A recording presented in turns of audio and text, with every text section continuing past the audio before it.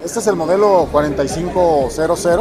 es la continuación del modelo 4020, es tecnología por electroválvulas, ya vimos es un consumible muy sencillo de, instalar, es para superficies porosas, normalmente corrugado, viene con una pantalla táctil a colores, un mejor rendimiento en el consumo de tinta, las purgas.